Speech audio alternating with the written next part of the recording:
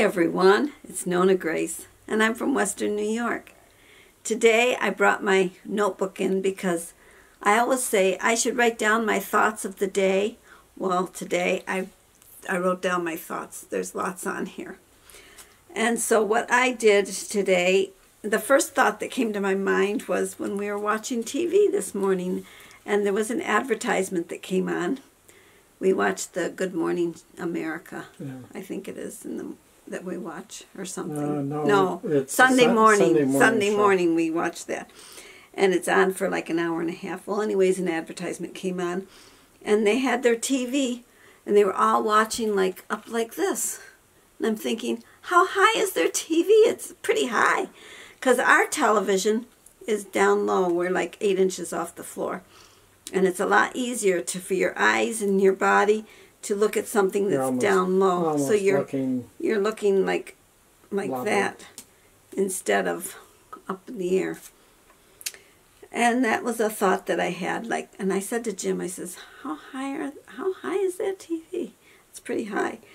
Then, well, on the show that we were watching Sunday morning, they had the one of the people that talk. They do a little. They have little segments, and one of the segments he was talking about. He had blonde hair, and he was talking about how it seemed like all the bad guys have blonde hair in all the shows that he watches. And well, I hadn't taken note of that. And he even said that the the Planet of the Apes, the meanest ape of them all was blonde. Well, I never noticed, but I will take note now to see who what color the hair is of the bad guys.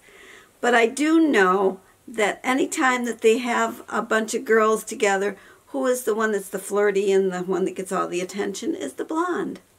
So with the girls, it's always the blonde that gets all the attention, and with the boys, it's always the bad guy, apparently. That was something that ran through my head this morning. And, um, and I also asked, how do they choose these people that do the the advertisements for the for the Political political ad, ads? And I, I wondered because they, they sound like they really believe what they're saying. And Jim goes, they're probably actors. And I said, well, they'd have to be paid an awful lot of money because they. I wonder if they believe what they're saying because whether they believe it or not, if they're an actor, they have to say it anyways.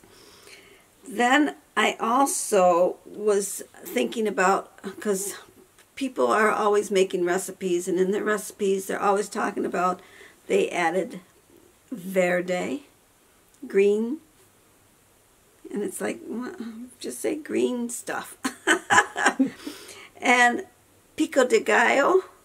Just tell them that they're adding chopped up tomatoes with a little bit of cilantro and onions and garlic and basil instead of saying I'm adding pico de gallo.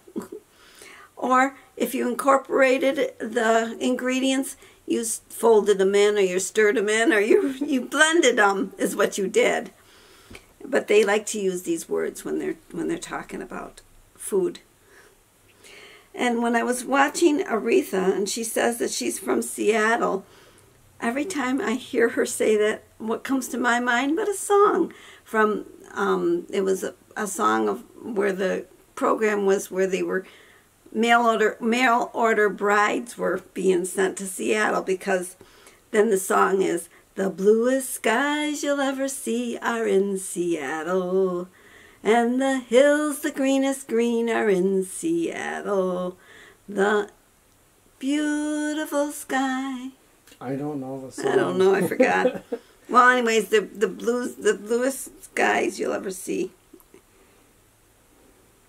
Something rather running deep and running wild. I don't know, but I but I used to love that. It was it was a mail order bride thing because I guess in Seattle there weren't many women years ago, and they were trucking them in. Probably back in the gold rush days. Probably. It was a long time ago, but it was really kind of funny because the girls would get off the train or off the thing that brought them, and there'd be a lot of guys there, and they would be bidding on the girls who they wanted to be their wife. and the girls were all coming knowing that they were going to be a wife. It was an old show. Um, people here when they added a comment. I don't know. What, I don't know what that one was. I write in shorthand sometimes where I don't know what I'm even saying. And how many times did you move since birth? We were talking about that too because I've been watching different people and different people have moved every few years. They've been moving and they're, I, I, and I I have never moved. I Yes, you moved. did. Well, yeah, I did when I We, mo- we married moved you. once. Well, we've moved twice. I I lived in the same house all of my growing up years, and my parents lived there until they moved here. So they lived there over sixty years in the same house, and um, I actually had the same parents. I didn't even you know like a lot of people have um, step parents. I had and step brothers, step sisters. I have just my immediate. I'm just. I I guess I'm odd because it's not of today.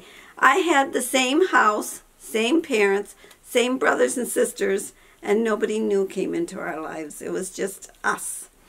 And then when Jim and I got married, we moved to our apartment, and then when we were in the apartment, we moved here. And so we've been here for, well, mm. Jessica will be, well, Michael was, Jessica wasn't born yet. No. Michael. So 38 years or 39 years we've been in this house. So we've been here a long time. And Jim's family, the same thing. They lived in the same house all his life hmm and all his parents' life. They lived in the same house. In fact, my my dad built our house. Yeah. And he had only his brothers and sisters and there was no no step or or half or anything in that family either. So I guess we're just a, a rare. It's rare today because like when the kids go to school, I have even grandchildren that when they go to school that two of them have one last name and the other two have a different last name and oh, it can be so confusing. And then the schools had to decide how they were going to set up because they have the distant learning. So, on, and they want all the kids in the same family to go to school at the same time. So, if you've got different names, it makes it even harder because now you've got a, a person at the beginning of the alphabet and maybe somebody at the end of the alphabet that's in the same household so that family's got to go whereas they would do it normally you would do it just alphabetically and we'd all be going to school. However they divide it up and then you'd go the certain days and then the other half would go the other days. A lot of confusion that was that was the random thoughts of today so that's my video. Uh, oh, I forgot. Oh my goodness, it's not the end. It's not the end. I I'm going to put a little video in here of me making, or kind of kind of making kombucha. Today I thought I would show you I make kombucha, and this is the empty jug. I just emptied it, but I leave a little bit in there just to start the new batch. This is the hot water with this cup of sugar. And then I'm putting the tea bags in another um, little measuring cup. And there's four tea bags in there to just steep and get nice and dark. And this is the SCOBY. As you can see, it looks pretty icky. And the way I made the SCOBY was I bought kombucha and then I saved a little bit of it in the bottom with the sediment. Put that in with my tea water and sugar and let it ferment. And this is what I've got. I've got a pretty good I've got a pretty good SCOBY going. I've got it's got ugh looks yucky don't it? Make sure your hands are clean when you do this. I rinse my hands off. And this is the measuring cup that I measured the sugar with it's a cup of sugar but I used a quarter cup because I just used a quarter cup. All right.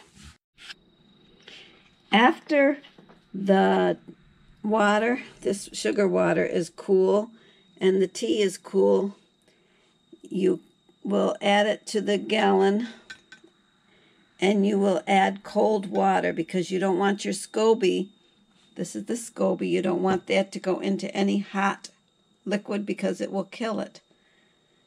And that's and then you just let it sit and it ferments. I let it from. It's supposed to be done like in I think a week to for you to drink it, but I let it go to vi- vinegar, so I let it sit for a long time, like almost I, probably mine goes for twenty days, and then I start to use it for the chickens, but it's got a vinegar taste then, and you can actually smell. If it smells bad, it's not good. If it smells kind of fruity-ish, you're you're okay. It's got a good smell, or it smells like vinegar, you're good. And that's how. And then what I do is I save the jars from the apple cider vinegar, and then I put my kombucha in here. So that's what's in there. This is kombucha.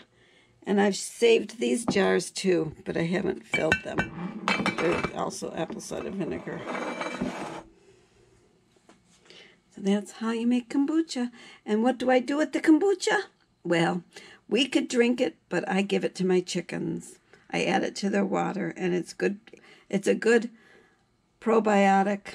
I guess it would be a probiotic for their gut, keep their guts healthy. I put it in every single water that I do for them. Well, that's how I make kombucha. And the thing is, I don't know if I told you everything in the video. I can't remember. There was something I thought I wanted to add about the kombucha. Oh, I forgot to add in that video. When you get your kombucha all made, you're supposed to cover it so that no fruit flies will want to fly into it. And don't refrigerate it until you want it to stop. Because if you wanted, say you wanted to keep your SCOBY for another time and you didn't want to make any more kombucha for a while, you could put your SCOBY in the refrigerator and it will stay healthy. Put it in a container, close it up, but make sure it's marked because Yeah. because It can get it can get something it can get something put into it that shouldn't have been in it. Jim, I had it used to have it in a, a mason jar. Jim didn't know what it was, and he put bacon grease on top, so that Scooby Scoby got ruined. So I had to make another Scoby Oh, we also had other jars in there with bacon grease. bacon in grease in it, and he just happened to choose the one that was a hmm. Scoby, and it wasn't bacon grease, and so my my Scoby got ruined. Well, now that's the end of the video. I hope you had a great day, and I'll talk. Oh, what a phone call? No, I'm. Hmm. I won't mention Okay. that. I had a phone call, but I won't mention it. I'll talk to you all again later. Bye.